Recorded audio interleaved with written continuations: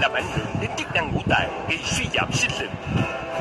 Được nghiên cứu lâm sàng, Rocket và rút kết một giờ bồi bổ chức năng ngũ tạng, phục hồi sinh lực ở nam giới.